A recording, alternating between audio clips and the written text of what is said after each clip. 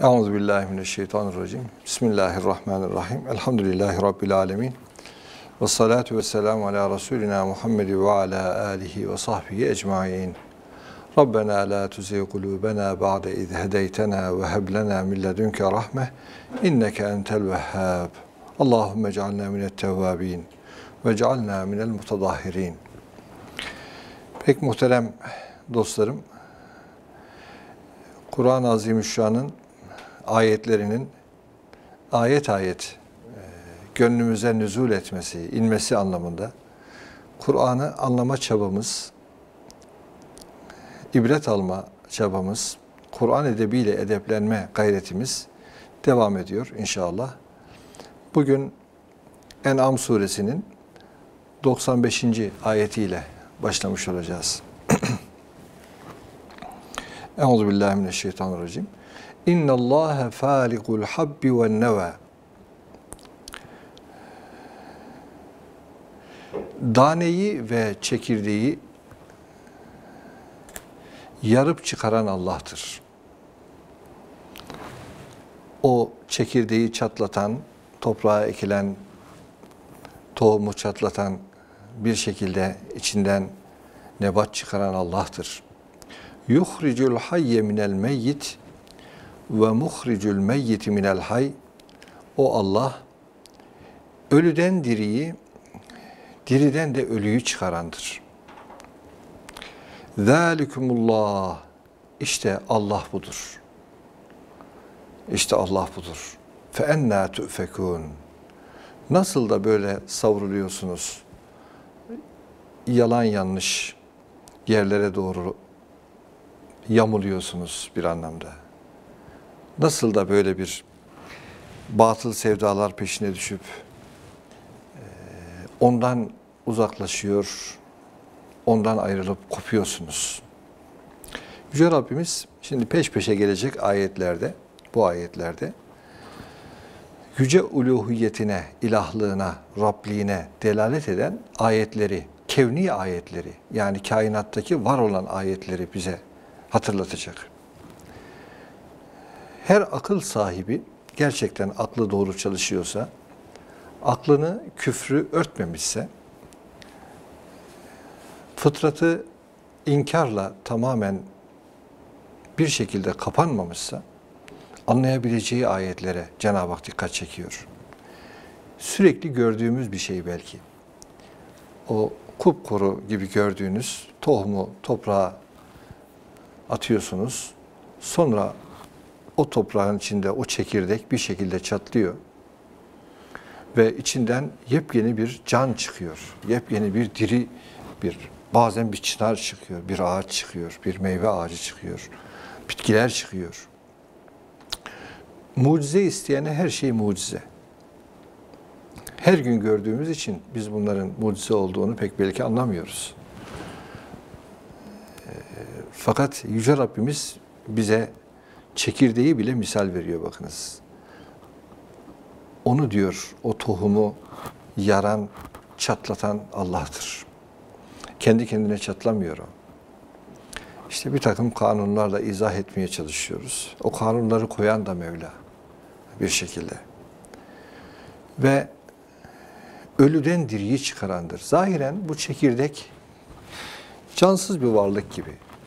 Değil mi? Cemadat dediğimiz cansız bir varlık gibi. Ee, ancak ondan Allah yeni bir diri bir şey çıkarıyor. Hakikatte belki o da canlı, bizim bilmediğimiz şekilde canlı. Ama bizim gözümüze ölü gibi görünüyor. Değil mi? Şu taşlar, efendim topraklar, dağlar e, bir şekilde e, sanki ölüymüş gibi görünüyor. Hakikatte kendi içinde bir diriliği var ama e, ölü gibi görülüyor. Fakat onun içinden bile Cenab-ı Hak nice diri diri şeyler çıkarıyor. Topraktan bakıyorsunuz. Rengarenk çiçekler, rengarenk meyveler, tatlı tatları farklı, renkleri farklı, boyutları farklı. Nice nice şeyler çıkıyor. O topraktan çıkıyor. O toprağa ekilen o ölü gibi gördüğünüz çekirdekten çıkıyor. Bütün bunlar. İşte bakıyorsunuz bir yumurta efendim kendi içinde hücrelerinin canlılığı elbette bir şekilde var. Ama ölü gibi duruyor. Bir şekilde cansız bir varlıkmış gibi duruyor. Fakat içinden bir yavru çıkıyor. Değil mi? Bir capcanlı bir e, can çıkıyor. İşte Yüce Rabbimiz ölüden diriyi, diriden ölüyü çıkaran odur derken e, şu da manevi anlamda bu ayetleri yorumlayan müfessirlerimiz şuna da dikkat çekmişlerdir. Son derece diri bir baba diyelim, imanla gönlü dirilmiş, salih amellerle dirilmiş, muttaki bir baba, yüreği ürperen, Allah deyince ürperen bir baba görüyorsunuz, aile görüyorsunuz. İşte öyle bir insan çıkıyor ki e, onların evladı olarak Allah muhafaza buyursun. Cenab-ı Hak cümle ümmeti Muhammed'in evlatlarını mümin, muvahhid, salih eylesin. E, ama bakıyorsunuz gerçekten inkarcı bir evlat. Hakikatte ölü olan birisi çıkıyor. Ölü olan birisi çıkıyor. Bu e, bilemiyorsunuz. İşte Nuh Aleyhisselam peygamber e, oğlu Allah'ı inkar eden birisi olabiliyor. Bu kainatta bizim bildiğimiz, bilemediğimiz nice sırlar var. Cenab-ı Hak diriden ölüyü, ölüden diriye. Bir bakıyorsunuz baba zil suruna sarhoş, inkarcı, ateist ama pırıl pırıl bir evlat çıkıyor oradan. O da manen ölü babadan manevi diri bir evlat çıkıyor. İşte e, Abdullah bin Übey ibn Selül var. O Übey bin Selül e, münafıkların reisi Medine'de. Ama oğlu Abdullah pırıl pırıl bir insan. İşte yüreği ölü adamdan yüreği diri bir evlat e, Cenab-ı Hak lütfedebiliyor. O bakımdan Cenab-ı Hak bu sırlara da dikkat çekiyor. Diriden ölüyü, ölüden diriyi çıkaran odur. Zalikumullah. İşte Allah budur diyor yani. Yani her şeye kadir. Her şeyi yapan eden o. Yani belki o tohumu küçük görüyorsunuz. Küçük görüyorsunuz. Fakat ondan işte koskoca bir orman çıkarıyor Allah. İşte bakıyorsunuz mahlukatı o ölü gibi gördüğünüz tohumlarla besliyor. Bir tohumdan 700 tane e, efendim tohum çıkarıyor Allah. Belki daha fazla çıkarıyor. Yani bir e, efendim nar fidesi düşünün, nar tohumu düşünün. E, bir tane tohumdan belki milyarlarca e, benzer tohumlar çıkıyor. Bütün bunlar Yüce Rabbimiz, bütün bunlar e, Allah'ın eseri e, olarak yani zat-ı uluhiyetinin eseri olarak önümüze koyuyor ki bunlardan ibret alınıyor. Cenab-ı Hakk'ın e, yüceliğini tefekkür edin. Bir de burada tabii çok büyük hikmetler var baktığımız zaman. idrakimizi terbiye eden, yani aklımızı terbiye eden diyelim. Hayata bakışımızı terbiye eden ince sırlar var. Kur'an bir edep kitabı. Her şeyimizi edeplendirir aklımızı edeplendirir, davranışlarımıza bir e, güzellik katar. Buradan şunu, şunu çıkarırız ki, mesela insan bazen ölü gibi olur, öyle diyelim. Bazen elden ayaktan düşersiniz bir şekilde. Duygularınız pörsümüştür. Ee, üzerinize ölü toprağa serpilmiş gibidir. Hani bazen öyle bir hal olur insanda. El ayağa kalkmaz olur. Maddi anlamda değil, manevi anlamda heyecanını yitirmiştir insan. E, o zaman ümitsiz olmamak lazım. Yani bu ölü gibi olmuş bu adamdan diri bir insan çıkar mı? El cevap çıkar. Allah'ın izniyle çıkar. İşte 20 yılı ölü gibi geçirmiş. Allah ona bir 30 yıl daha ömür vermiş diyelim. E, o ölü hayattan sonra yepyeni bir diriliş meydana gelebilir mi? Gelebilir. Burada aynı zamanda e, şöyle bir bakış açısının terbiye edilmesi de var. Yani ölüye hep ölü gibi bakmamak lazım, öyle diyelim. Zahiren ölü gibi görünene ölü gibi bakmamak lazım. Onun içinde ne diriler var bilmiyoruz. Ne diriler Allah oradan çıkarabilir, onu bilemiyoruz. Onun için çok diri olan insanlar insanlara da insan kendisi diri ise bir şekilde dirilmişse hep öyle gidecek diye de bir şey olmayabilir. Allah muhafaza. Allah'a sığınacak. O diriliğinin devamını dileyecek.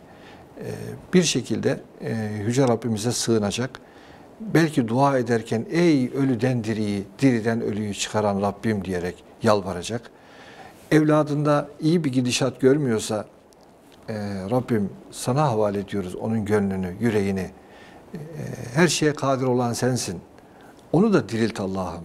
Onu da imanla, İslam'la, ihsanla dirilt ya Rabbi diye bakacağız. Efendim öğretmensiniz. Efendim karşınızda öğrencileriniz var. Öğrencilerin içerisinde son derece dipdiri olanlar var. Dipdiri yürekli insanlar var. Ee, üzerine ölü toprağa serpilmiş gibi elden ayaktan düşmüş, hayata küsmüş insanlar var. Yani onlara da Cenab-ı Hakk'ın o muhyi sıfatını, diriltici sıfatını, ölüden diriye çıkar, çıkarabilecek sıfatını e, Cenab-ı Hakk'ın tecelli ettirebileceğini düşünerek ümitle bakmak lazım. Ümitle bakmak lazım. Emniyette olmamak lazım.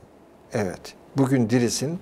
Bugünün diri yarının ölü olabilir. Yani günler de dirilir, günler de ölür.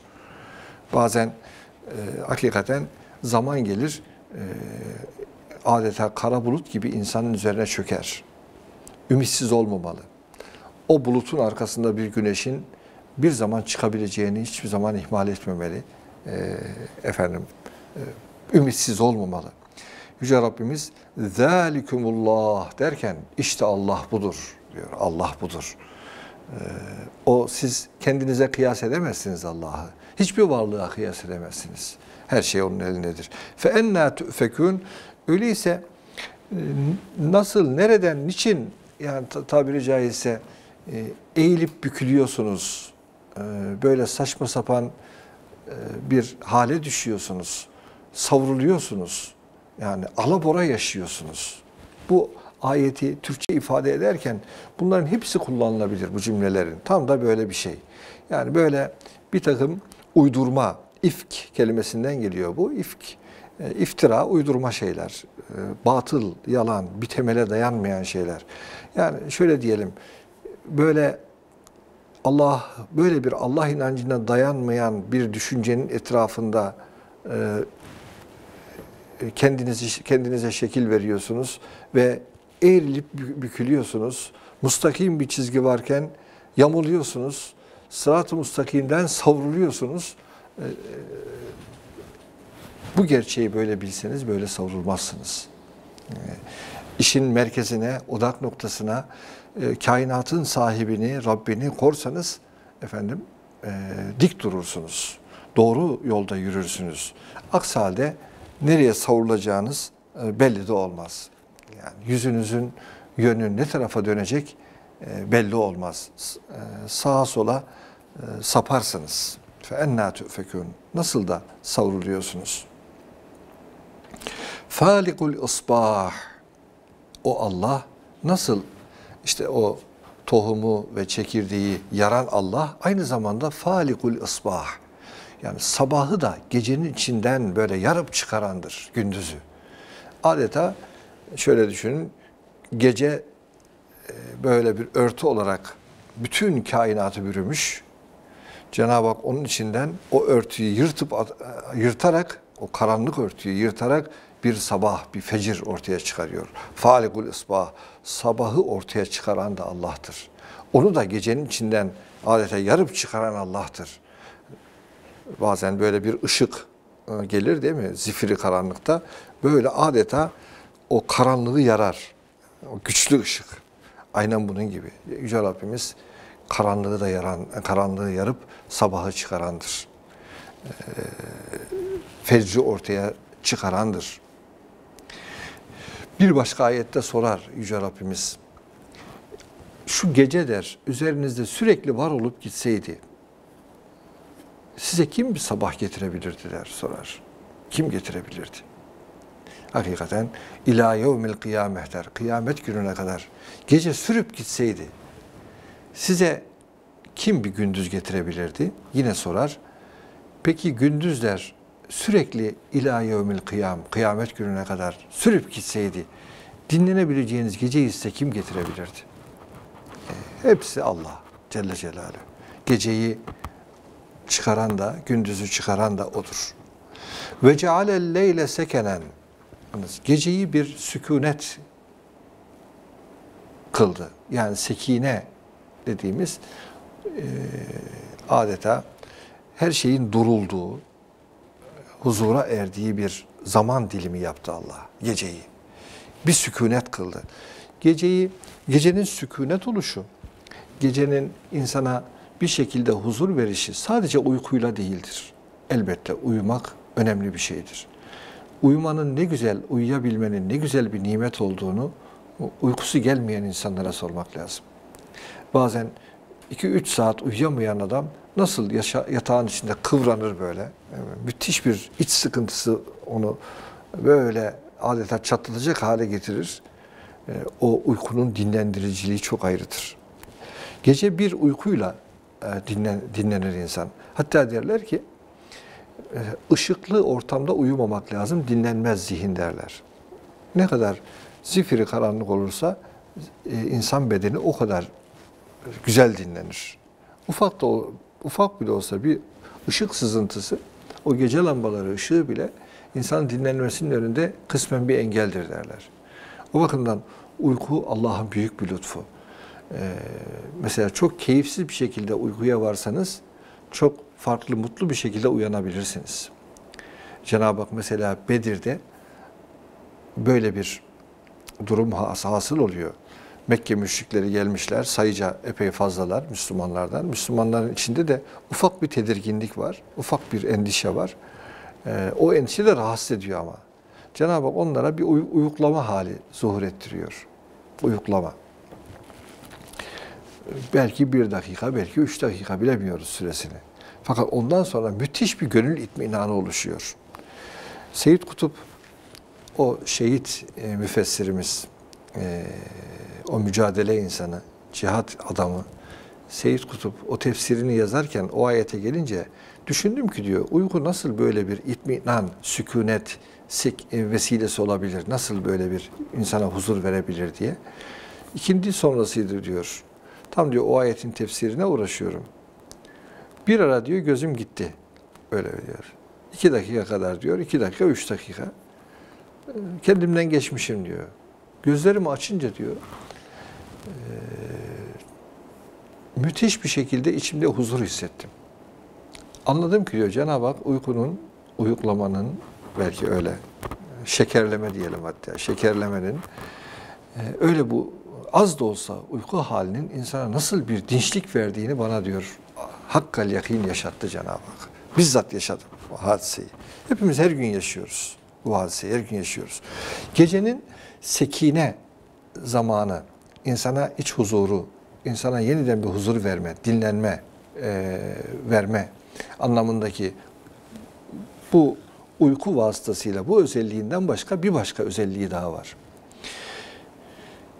Geceleyin yapılan ibadetler, geceleyin kalkışlar, geceleyin efendim e, yerine getirilen istiğfarlar, dualar insanda da mü müthiş bir iç huzuru oluşturur. Hatta o gün içine de yayılır, gündüze de yayılır. Gece kalkan insan, Cenab-ı Hak Kur'an-ı Azimüşşan'da ona dikkat çeker. Gece kalkan can der, çok daha böyle dinçtir, çok daha böyle dayanıklıdır. Ee, onun için Yüce Rabbimiz o kendilerine ağır yük yüklediği, ağır mükellefiyet, sorumluluk yüklediği peygamberlerini geceleyin ayakta tutar. Kalkın der. Gecenin yarısı ayakta durun der. Yarısından biraz fazla biraz az olabilir der. Çünkü gündüz size der çok ağır bir yük yükleyeceğiz. Tabiri caizse gece bir gönül, gönüllerin dolum e, anı gibidir öyle diyelim. Gönüller sekinetle dolar, huzurla dolar gece, gece vakti. O bakımdan ve cealelleyle sekenen ayetini geceyi sükunet e, mahalli, sükunet zamanı kıldık ayetini sadece uykuyla tefsir etmemek, uykuyla tercüme etmemek, uykuyla yorumlamamak gerekir. Gecenin çok daha farklı sırları vardır. Yani bu anlamda manevi sırları vardır. E, Efendimiz Aleyhisselatü Vesselam buyurur ki bir hadis-i şerifinde, insan der geceleyin uyuyunca şeytan onun ensesine, ense köküne e, üç tane düğüm atar. Her düğümden sonra da bir mühür basar. Mühründe de yat yat daha sabaha çok var ifadesi vardır der. Kişi gece vakti uyandığı zaman Allah'a zikrederse, diyelim elhamdülillah dedi, estağfurullah dedi, düğümün birisi çözülür diyor. Kalkıp abdest alırsa ikinci düğüm çözülür. İki rekat namaz kılarsa üçüncü düğüm çözülür. Bu kişi diyor sabaha zinde ve neşeli bir şekilde kalkar. Fakat diyor eğer uyanmaz uykuya devam ederse hele hele bir de güneş üzerine doğarsa bu kimse diyor keslan ifadesi kullanılıyor. Tembel olarak kalkar ve adeta kendini son derece kirlenmiş bir vaziyette hissederek kalkar. Hadis böyledir. Buhari hadisidir. E, ve böyle kimse gerçekten geceleyin tamamını uykuyla geçiren insan e, gündüzünde de akşama kadar esner de esner. Yani faydalı bir iş yapmak Allah ona nasip etmez. O bakımdan gecenin insana sükunet vermesi, gönlüne huzur vermesi, itminan vermesi, e, gönlü bir takım teşvişlerden, bir takım efendim e, havatır dediğimiz lüzumlu lüzumsuz düşüncelerden kurtarabilmesi için gecenin hem istirahatle, uyku istirahatiyle hem de ibadet ibadet ve taatla, tesbihle birlikte değerlendirilmesi lazım gelir ki bütün mutmain insanlar, bütün mesela Allah dostları e, gecelerini bu anlamda değerlendiren insanlardır. Hem istirahatle hem de Allah'a itaatle, taatle, kıyamla değerlendiren insanlardır. Evet, falikul isbah, sabahı çıkaran, sabahı yarıp çıkaran, geceyi yarıp sabahı içinden çıkaran odur. Yani Allah'tır. Ve o Allah geceyi de böyle bir sükunet mahalli, sükunet zamanı kılmıştır. Ve şemse vel kamera husbana Allah güneşi ve ayı da e, hesap vasıtası kılmıştır. Onlar da müthiş bir hesap içinde dönerler zaten. Milim şaşmazlar, dakika şaşmazlar. Asırlarca böyledir. Belki milyonlarca, milyarlarca yıl içinde böyledir. Ayın da dönüşünde, hareketlerinde bir değişiklik dönü şey yoktur. Güneşte de yoktur. Müthiş bir nizam ve intizam içindedir. Ve bunları da hesap için e, Cenab-ı Hak hesap vasıtası kılmıştır. Elbette sadece güneş ve ay hesap vasıtası olsun için yaratılmadı. Onların birçok hikmetleri var. Güneşin bakınız aydınlığından istifade ediyoruz, ısısından istifade ediyoruz. Bütün bitkilerin olgunlaşmasında güneşe ihtiyaç var. Güneşten bir işte bir takım vitaminler geliyor. D vitamini diyorlar değil mi efendim? Bir vitamin alıyor. Kemikleriniz ona göre olgunlaşıyor. Eğer güneş görmediyseniz çok daha hastalıklara açık hale geliyorsunuz. Ee, güneş girmeyen eve doktor girer derler. Yani bakarsınız daha sayısız bildiğimiz bilmediğimiz insanoğlunun keşfettiği keşfedemediği daha nice nice sırları vardır bunların. Ama Cenab-ı Hak burada mesela onların hesap vasıtası oluşuna, onların e, intizamlı bir şekilde e, yörüngelerinde dönüşüne dikkat çekerek insanların faydalanacağı bu yönüne dikkat çekiyor. Bir başka yerde bir başka yönüne dikkat çekiyor. Onların ışığına dikkat çekiyor mesela. Dolayısıyla burada hesap yönüne dikkat çekiyor. Gerçekten insanoğlu e, işte tarih boyunca güneşin hareketlerinden ve ayın hareketlerinden zaman tespitinde bulunmuşlar. Kameri yıl, şemsi yıl diyoruz. Güneşe bağlı yıl e, ya da gün, saat, aya bağlı ay, yıl ikisinin ufak ufak farklılıkları da var. E, işte birisi 365 günde bir efendim yılı tamamlarken öbürü 354 günde tamamlıyor. Tekim İslam'ın ilk yıllarında hicretten sonra hep hicri yıl dediğimiz kameri yani aya bağlı yıl hesapları yapıla gelmiş. E, bir müddet sonra e, şemsi yıl, miladi yılda diyoruz biz buna. E, güneşe bağlı hesaplamalar yapılmış ama her ikisi de bir hesap vasıtası olarak da kullanılıyor bunlar. İşte kış ona göre belirleniyor, yaz, bahar, efendim bunlara göre belirleniyor. Cenab-ı Hak onların bu özelliklerine de dikkat çekiyor. ذَٰلِكَ تَقْد۪يرُ الْعَز۪يزِ الْعَل۪يمِ Bu her şeye gücü yeten, e, aziz olan ve her şeyi bilenin e, ölçülendirmesidir. Yani onun takdiridir. E, Yüce Rabbimizin efendim o her şeyi hakkıyla bilen ve kudreti daima üstün gelen e, Allah'ın bir takdiridir bu. onun ölçülendirmesi böyledir. Yani güneş zi şuur yani şuur sahibi, akıl sahibi olarak kendi kendini planlayarak bir şekilde hareket eden bir varlık değil.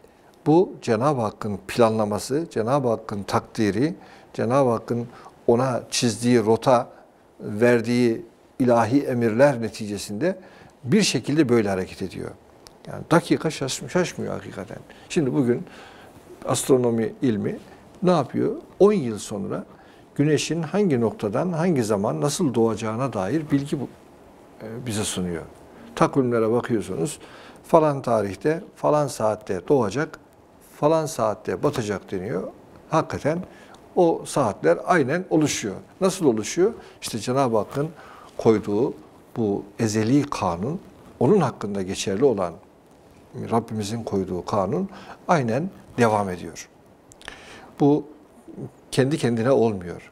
Yüce Rabbimiz işte e, buna dikkat çekiyor. Bakınız e, yöneticisi siz olmanıza rağmen diyelim şuradan şuraya şu dakikada varacağım diyorsunuz. Değil mi? Bugün navigasyonlar da bir takım e, işte saat veriyorlar. Ama tutturamıyorsunuz. Bir trafik oluyor.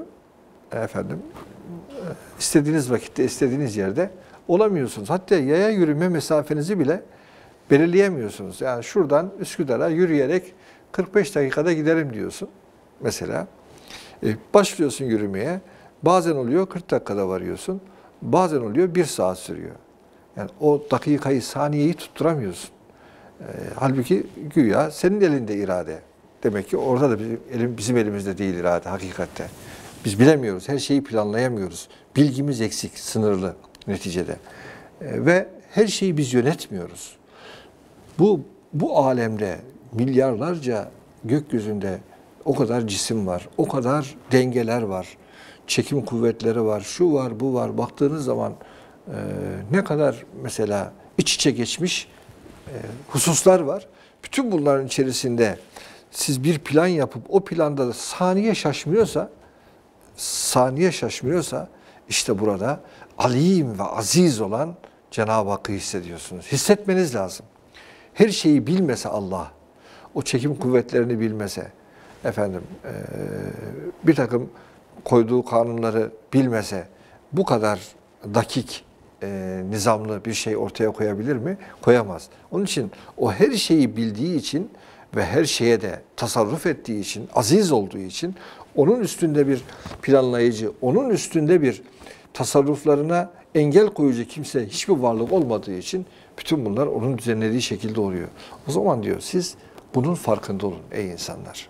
Yani Allah'ın azizliğinin farkında olun, alim oluşunun farkında olun. Yani her şeyi bilişinin farkında olun. Her şeye gücü yettiğinin farkında olun Her şeyin onun iradesiyle döndüğünü, onun iradesiyle yürüdüğünü fark edin e, diyerek Cenab-ı Hak ذَٰلِكَ takdirul azizil alim vurgusunu yapıyor.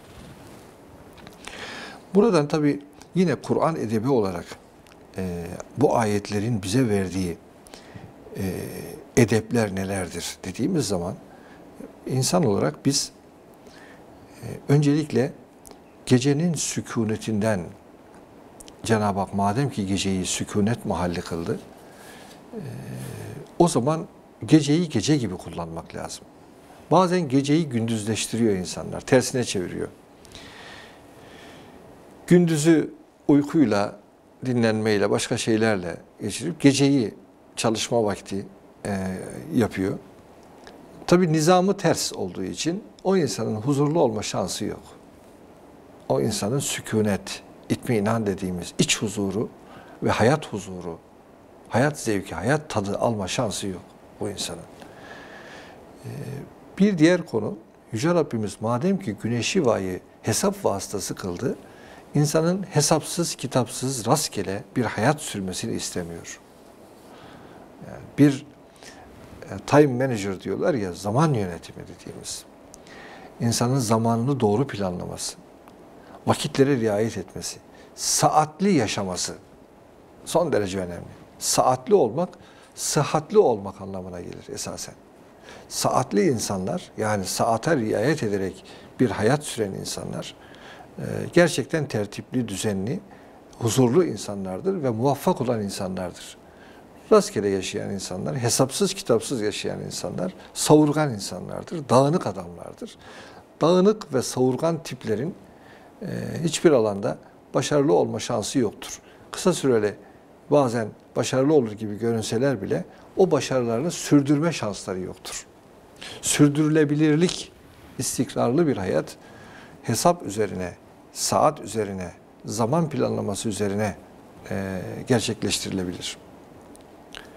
Yüce Rabbimiz madem ki zat-ı uluhiyeti böyle her şeyi hesap, kitap ve ince bir zaman e, disiplini içerisinde e, Cenab-ı Hak yapıyor.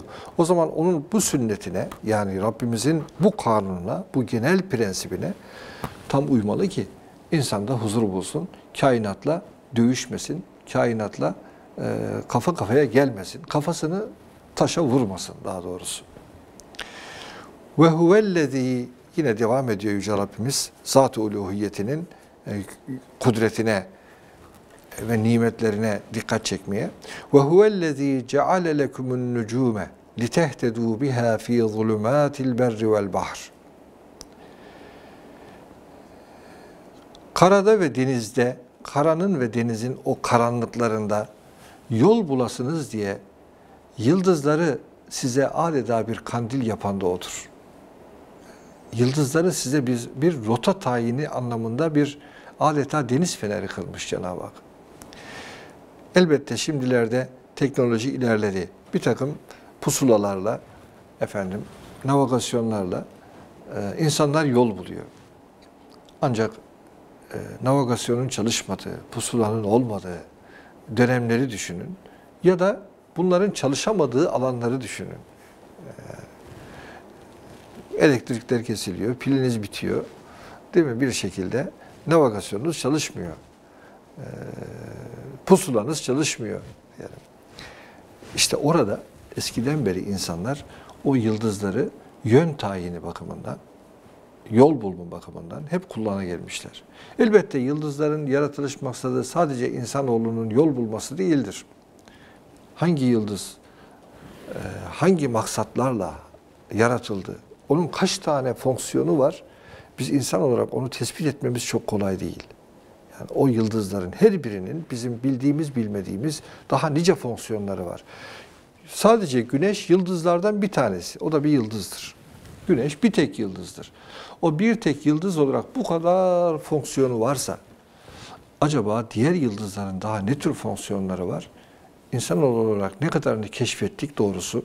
Ee, herhalde bilinenler bilinmeyenlerin yanında deryadan bir damla gibidir deryadan bir damla gibidir. Ama Yüce Rabbimiz burada bize yıldızların özellikle o dönemde, Kur'an'ın indiği dönemde o çöl Arabının öyle diyelim değil mi? Çölde yaşayan insanın, o bedevilerin, onların yıldız bilgileri bayağı iyi. O yıldızlarla yol buldukları, yön buldukları, e, yön tayini yaptıkları e, bilindiğinden Yüce Rabbimiz onların o faydasına dikkat çekerek bakınız sizin o yön bulduğunuz, e, yol bulduğunuz e, yıldızları da yaratan Allah'tır. Yani siz bunları belki Allah'a ortak koşuyorsunuz değil mi? Güneşe tapıyor, tap, tapıyorsunuz, tapanlar var. Ay'a tapıyorsunuz, yıldızlara tapıyorsunuz. Tarih boyunca insanoğlu bunlara da tapmış. Halbuki onları Allah sizin için yarattı. Sizin için yarattığına siz mabut diyorsunuz, ilah diyorsunuz. Ya sizin emrinize yaratıldı. Siz kendinizi niye alçaltıyorsunuz? Böyle sizin için yaratılana siz kulluk yapıyorsunuz. Ne kötü işliyorsunuz? Yani nasıl kafanız çalışıyor sizin dercesine? Bir taraftan da Cenab-ı Hak e, o hususada dikkat çekiyor dolaylı olarak. Evet, sizin için diyor o yıldızları Allah yarattı. Ki e, denizde ve karada o karanlık zamanlarda, o zifiri karanlığın oluştuğu zamanlarda o yıldızların ışığıyla yol bulasınız için. قَدْ فَصَّلْنَا الْآيَاتِ لِقَوْمٍ يَعْلَمُونَ Muhakkak ki biz bu ayetleri, bunların her biri ayet, mucize çapında işaretler, bilmek isteyen topluluk için böyle açıklıyoruz. Yani bilen, bu ayetlerin ayet olduğunun farkında olan ve bu ayetler bize bir şeyler söylemek istiyor diyerek böyle bir e, araştırmanın içine giren kimseler için nice efendim hikmetler barındırıyor. Ve biz onlar için diyor zaten bunları ayet, ayetler açıklıyoruz. Yine buradan bu ayetin bize gösterdiği ve müminler olarak almamız gereken bir edep de Allah'ın bu ayetlerini bilme anlamında bir ilmi çabanın içine girmemiz gerektiğidir. İlmi çabanın içine. Bu astronomi ilminde mesela Müslümanlar bir dönemler bayağı ileriymiş. Şimdi biraz geri kalmışız ayrı. Ama astronomi ilmi de e, sıradan bir ilim değil. Son derece önemli bir ilim. Ve Cenab-ı Hak bu ayetlerin çözülmesi için, bu ayetlerdeki hikmetlerin, işaretlerin, menfaatlerin keşfedilmesi için müminlerin bir anlamda ilme sarılması gerektiğine dair de bize burada yönlendirme yapıyor. Çünkü likavmin yalemun diyor. O bilgi sahibi, o, o bilen topluluk için burada birçok şey açıklıyoruz biz. O bilgiye ulaşmak isteyen insanlar için açıklıyoruz biz bunları. Burada o yıldızlarda, o ayda, o güneşte, gecede, gündüzde e, hangi hikmetler, hangi menfaatler insan için gizli? Bunu ancak e, ilmi anlamda bir çabanın içine girenler fark edebilir. Buna dikkat çekiyor. Öyleyse mümin Allah'ın ayetlerine karşı kör ve sağır davranmamalı. Yerde ve gökte var olan ayetleri önce fark etmeli. Bu ilahi bir ayettir, bir mucizedir. Allah bu ayeti, bu mucizeyi bize gösterdiğine göre, bizim için halk ettiğine göre biz ondan ne almalıyız? Ne tür ibretler almalıyız? Ne tür keşiflerde bulunmalıyız? Ee, bize ne sağlıyor bu? Bizim için yaratıldığı beyan ediliyor. Falan yıldızdan bizim alacağımız ne var? O yıldız bize ne verecek? Bizim için ne anlam ifade eder? Bunun bilgisini bir araştırın diyor Cenab-ı Hak. Yüce Rabbimiz hiçbir şeyi boşuna yaratmadığını beyan eder Kur'an-ı Kerim'de. Abes bir şey yaratmadık bizler yani. Oyun olsun diye bir şey yaratmadık. Boşuna da bir şey yaratmadık. Yarattığımız her şey o hakim olduğu için Yüce Rabbimiz nice nice hikmetler gizli içinde. Ve küçük şey de yaratmıyor. Yarattığı her şey zahiren küçük gibi görünen şeyler bile hakikatte çok büyük. O bakımdan ama bütün bunların hakikatini kavrayabilmek, büyüklüğünü anlayabilmek, idrak edebilmek biraz ilmi çaba istiyor. İşte bu ayette de buna dikkat çekiyor Rabbimiz. Yani cahil kalmayın, tabiri caizse ümmi kalmayın. Araştırın, geliştirin, gelişin, daha e, sizler de o aziz olan Rabbin aziz kulları olun anlamında Rabbimiz yönlendiriyor. Ve huvellezî enşe'ekum min nefsin vahide femüstegarru ve müstevda. O odur sizi bir tek nefisten bir de bir tek candan yaratan ve her biriniz için bir karar yeri bir de emanet olarak kaldığı, bırakıldığı yer var eden odur. Bir karar kılacağınız zamanlar, mekanlar, mahaller size lütfetmiş. Hem de emaneten durmanız gereken yerler vermiş Allah size. Ve sizi bir tek nefisten yaratmış. Bizim efendim burada bir tek nefisten kasıt ilk insan Hazreti Adem Aleyhisselam'dan yaratılmışız her birimiz. Her birimiz bir candan yaratılmışız. Bir tek candan yaratılmışız. Ve bu kadar farklı farklı renkte insanlar, farklı dilleri olan, efendim, farklı şekilleri olan, işte parmak uçlarının bile birbirine benzemediği, gözlerinin birbirine benzemediği, her bir insanın hususi kokusu varmış. O kokular bile birbirine benzemiyor. Efendim, e, düşünce boyutları benzemiyor, insanların kaderleri benzemiyor, ortak bir kader değil. Herkesin kaderi özel, kendine özel. Herkesin yediği, içtiği eşit değil. Bir, hep herkes aynı yerden, aynı meyve türünden, aynı ağaçtan beslense bile herkesin yediği yine farklı. Cenab-ı Hak her bir kuluna özel sofralar diziyor. Ee, ve bu kadar e, çeşitlilik bir tek nefisten diyor yarattı Allah sizi. Hepiniz bir tek nefisten çoğaldınız. Bu noktaya geldiniz. Bunu yapan Allah'tır. Ve her birinize de bir karar mahalli bir de emaneten bulunma mahalli kılmıştır. Bu nedir? Karar mahalli ve emaneten bulunan mahalli. Bununla ilgili tefsirlerde bir takım e, farklı farklı görüşler var.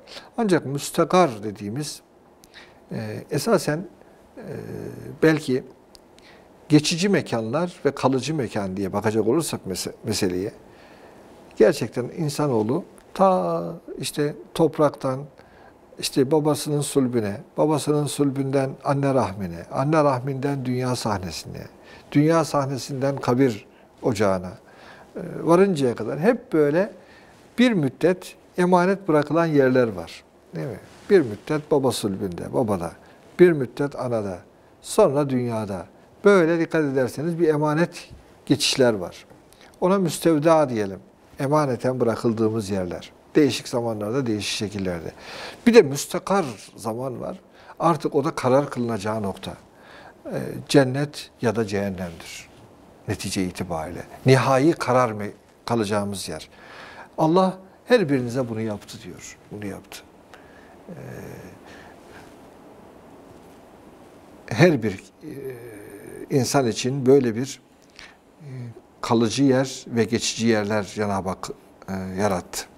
Hepiniz de tek bir nefisten yarattı. قَدْ فَصَّلْنَا الْآيَاتِ لِقَوْمٍ يَفْقَهُونَ Böyle ince idraki olan, gerçekten e, bu tür delillerden bir sonuç çıkarmasını beceren topluluk için biz ayetleri yine böyle açıklıyoruz. Yani idrakini çalıştıran diyelim, aklını çalıştıran, basiretli, firasetli, fetanetli e, kimseler için biz böyle ayetler açıklıyoruz. Burada da dikkat edilirse bu süreçte de nice nice ayetler var. Değil mi? İnsanın çocukluğu ayrı ayettir, gençliği ayrıdır, olgun yaştaki durumu ayrıdır, ihtiyarlığı ayrıdır. Her birinde alınacak nice nice ibretler vardır. Herkes de bu süreçten geçer. Bir şekilde geçer. Ve huvellezî enzele mines semâi mâ'a. Gökten suyu indiren de O'dur. Yani Allah'tır. Gökten su indiren de O'dur. Yani onun da inişi ne müthiştir. Değil mi? Böyle damla damla iniyor. Böyle e, toptan boşalıverse ne olur? Bazen işte sağanak yağmur aşırı oluyor. İşte caddeler almıyor birden. Helak oluyor insanlar neredeyse yani. Evler basılıyor. Şu oluyor, bu oluyor. Gerçekten gökyüzünde de müthiş bir okyanus dolaşıyor değil mi? Atlas okyanusu kadar bir şey dolaşıyor. Ve nasıl bir şey? Önünde bir kapakları yok. Böyle baraj gibi tutan bir şeysi yok. E, toptan dökülmüyor. Ve öyle damla damla dökülüyor. E, Allah'ın indirişine bakınız. O kar yapısı, karın inişine bakınız. Böyle kütle halinde inse e, ne olur yani? Hakikaten şu alem nasıl yaşanır o zaman? Cenab-ı Hak bunların her birine dikkat çekiyor. O diyor gökten suyu indiren odur. Hem de öyle bir su ki tertemiz bir su indiriyor. Belki kirli sulardan buhar çıkıyor. Nasıl bir arınma, nasıl bir arıtma cihazı. Böyle hani kötü kokulu bir yağmur yağmıyor. Mis gibi bir değil mi? Yağmur yağdıktan sonra her taraf mis gibi kokuyor. Pırıl pırıl bir yağmur. Hep böyle pırıl pırıl suların buharlaşmasından meydana gelmiyor. Belki yani bir takım mikroplu sular da buharlanıp e, şey ama her biri orada süzülüyor. Bembeyaz bir kar olarak geliyor mesela. Geçen bir büyüğümüz güzel bir ifadede bulundu. Her taraf karla kaplanınca e, o beyazlığın verdiği iç huzuru değil mi? Her taraf bembeyaz oldu mu insanlar böyle yüzünü güldürüyor Cenab-ı Hak bir şekilde. Pırıl pırıl bembeyaz her taraf ya kar simsiyah yağsaydı nasıl bir şey olurdu diye bir soru sordular da gerçekten simsiyah bir kar yağsa nasıl olurdu? İnsanlarda müthiş bir moral bozukluğu oluşur. Ama bembeyaz böyle pamuk gibi yağıyor Cenab-ı Hak. Hem yağışı güzel, hem yerde duruşu güzel, hem sonuçları güzel. Mesela bakıyorsunuz e, kar suyunun bereketi bir ayrı. Yağmur bir ayrı, kar suyunun bereketi bir ayrı denizden su püskürterek yapmaya çalışsanız bunların hiçbir menfaati olmaz. Bu kadar şeysi olmaz. Belki kurutursunuz birçok şeyi o tuzlulukla. Cenab-ı Hak onun tuzunu da süzüyor. Yani nasıl bir billur bir şekilde iniyorsa müthiş bir rahmet olarak iniyor. İşte odur diyor. Gökten suyu indiren odur. Yani siz yağmur bombası atsanız da neticede e, su inse bile yine indiren de odur. odur. Ahracna bihi nebate külli şey. Evet. Diyor ki Cenab-ı Hak o suyla biz bakınız o suyla ahracna minhu nebate külli şey her şeyin o o bitkinin nebatın e, çıkmasını sağlıyoruz. Her türlü bitkiyi o suyla büyütüyoruz. O suyla besliyoruz. Çıkarıyoruz. Ve ahracna bihi nebate külli şey. Her şeyin büyümesini bir şekilde nebat, dal budak salmasını o suyla yapıyoruz. Aslında burada sadece nebat diye baktığımız zaman bitkiler gibi düşünsek bile bitkilerden öte bir şey var burada. Esasen diğer hayvanatın, canlıların, insanın da büyümesi bir şekilde bu suyla oluyor. Yani düşünün, değil mi? Su olmasa canlıyı nasıl büyüteceksiniz yani? Hayvan nasıl büyüyecek, nasıl gelişecek? Hangi bitki türüyle büyüyecek? Yani bitki zaten suyla çıkıyor. Yani dolayısıyla her şeyin dal budak salması diyelim biz buna isterseniz. Ee, biz bir su indiriyoruz gökten.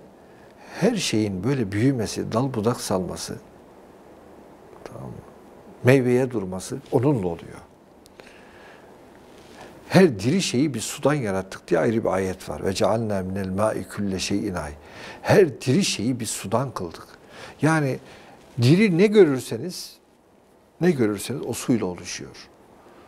İnsanı susuz bırakın işte bir müddet sonra e, pörsümeye başlıyor. Hayvancağıza su vermeyin bir müddet sonra ölüme doğru küçülmeye başlıyor.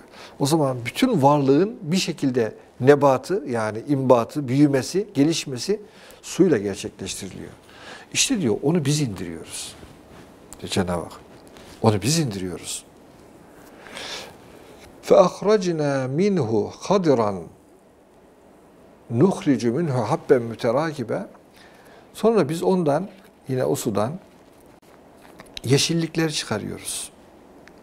O yeşillikten de böyle üst üste üst üste tomurcuk e, daneler, başaklar çıkarıyoruz. Yani buğday tanelerini düşünün. Yani Cenab-ı Hak onu önce bir onun yeşilliği çıkıyor. Sonradan da orada üst üste binmiş işte mısır taneleri gibi yani mısırı düşünün. Değil mi? Bunları bunları çıkarıyoruz diyor. Ve üst üste binmiş tohumlar, işte daneler, habbeler çıkarıyoruz. Ve minen nahli min dal'iha qinvanun daniyetun. Yine hurmadan da o hurmanın salkımından da e, efendim hurma ağacının o tomurcuklarından o yere doğru sarkan salkımlar da çıkarıyoruz. Şimdi Kur'an-ı Azimüşşan indiği o Mekke toplumunda, Haremeyn civarında bak daha çok hurmalar da olduğu için Cenab-ı Hak ondan da misal veriyor. O hurmalara baktığınız zaman gerçekten böyle onlar da üzüm misali böyle aşağıya doğru sarkar şekilde Cenab-ı Hak onları da burada zikrediyor. İşte onları onları da biz yapıyoruz buyuruyor. Ve cennetin min alabin üzüm bağları çıkarıyoruz. Üzüm bahçeleri cennet gibi ve zeytune ve rummane müştebihen ve gayre mütecabih zeytini, narı birbirine benzer ya da benzemez. Yani e, onları da diyor biz o suyla çıkarıyoruz. Unzuru ila semerihi iza esmera ve yen'ih. Her birinin meyvesini ilk ortaya çıktığı zaman bir de olgunlaştığı zaman bir görün, bir bakın diyor. Nasıl bir şey? İlk tomurcuk haline bir bakın. Bir de olgunlaşmasına bir bakın. Yani onların her biri de ayrı ayetler demek ki. Hem tomurcuk, o çiçeklenme, tomurcuk ortaya çıkması, meyvenin ilk çağla halinde görülmesi, sonra onun olgunlaşması, büyümesi, işte tadının, renginin tam oturması. Bunlara bir bakın. Yani adeta inceleyin diyor. Bunlar nasıl oluyor? Hangi kuvvet bunları büyütüyor? İnne fî zâlikum le âyâtin li kavmin yu'minûn. Esasen iman eden bir topluluk için bunda sayısız ayetler vardır. Size söylüyorum diyor Cenab-ı Hak. Bunda sayısız ayetler vardır. Ve cealû lillahi şurakâ el cinne ve halakahum ve haraku lehu benine ve benatin bi gayri ilm. Bütün bunlara rağmen, bunlar sayıyor Cenab-ı Hak bakınız. Tuttular Allah'a cinleri ortak koştular. Üstelik Allah onları yaratan da Allah'tır. Yani Allah'ın yarattığı hani cinleri tuttular Allah'a ortaklar koştular. Buradaki cin kelimesi hem anladığımız anlamda cin adlı varlıkları ifade ettiği gibi görünmeyen varlıkları da ifade etmiş olabilir. Yani bunun e, da bir mani yok. Görünmeyen varlıklardan ama bir grubu da cinlerdir. Bazıları cin diye bir taifenin olmadığını söyleseler de böyle bir uçuk bir iddia, temelsiz bir iddia peşinde koşsalar da cinlerin varlığı gerek ayetlerle gerek Habibullah Efendimiz Aleyhisselatü Vesselam'ın hadisleriyle sabittir. Onun için buradakini normal cinler olarak anlayabiliriz. E, onları da ortak koşanlar var çünkü birçok e, kimse. Cinleri bazen onlardan son derece korkarak onlara sığınır, onlardan yardım ister. Bu anlamda Allah'a ortak koşarlar. Taparak, onlara ibadet ve kulluk ederek ortak koşarlar. Tuttular diyor Cenab-ı Hak, cinleri Allah'a ortak koştular. Üstelik onları yaratan Allah'tır. Ve halakahum. Onları yaratan Allah olduğu halde onlara ortak koştular. Ve haraku lehu benine ve benadin bi gayri ilm. Bir de Allah'a Allah'a bilgisizce, cahilce, herhangi bir ilmi temele dayanmayan, bir bilgi temeline dayanmayan, bir hakikate dayanmayan şekilde Allah'a oğullar ve kızlar isnat ettiler. İşte melekler Allah'ın kızları dediler. İsa Allah'ın oğlu dediler. Üzeyir Allah'ın oğlu dediler. İşte Yahudiler Üzeyr'i e, aleyhisselam. E, Hristiyanlar İsa aleyhisselamı ortak koştular. Uydurdular. Yani nereden çıkardılar? Kafalarından, işte hevalarından, heveslerinden, e, bir takım yanlış tasavvurlarından efendim böyle bir uydurma yoluna gittiler. Allah'a oğullar ve kızlar nispet ettiler. Ve bunu herhangi bir ilmi temele dayanmadan yaptılar. Bir gayri ilim. Subhanehu ve Teala amma yasifun. Allah onların e, bu vasfettikleri, Allah'a nispet ettikleri bu tür sıfatlardan münezzehtir. O oğul edinmekten ve kız edinmekten münezzehtir. Allah'ın oğlu ve kızı yoktur. Bedi'us semavati vel ard. Gökleri ve yeri eşsiz bir şekilde yaratan odur. Allah'tır. Yani daha önceden bir maketini gördü de ona göre yarattı değil Allah. Sıfırdan tabiri caizse. Yoktan bir şekilde var eden ve eşsiz bir şekilde surette var eden odur. Enna yekunu lehu veled ve lem tekun lehu sahibe. Allah'ın bir eşi yok ki nereden çocuğu olsun diyor Cenab-ı Hak. Onun bir eşi yok ki nereden çocuğu olsun? Ve halaka külle şeyi ve her şeyi o yaratmıştır. Ondan başka yaratıcı yok. Ve halaka külle şey ve huve bi külli şeyin alim. Her şeyi en iyi bilen de odur. Her şeyi en iyi bilen de odur. Eh, Cenab-ı Hak e, yüce kudretini, azametini, şanını en güzel şekilde tanıttığı e, arif kullarından eylesin cümlemizi inşallah. Bugün burada kalalım inşallah. Bir sonraki ders devam ederiz 102. ayetten itibaren. Peki efendim. Allah'a emanet olunuz.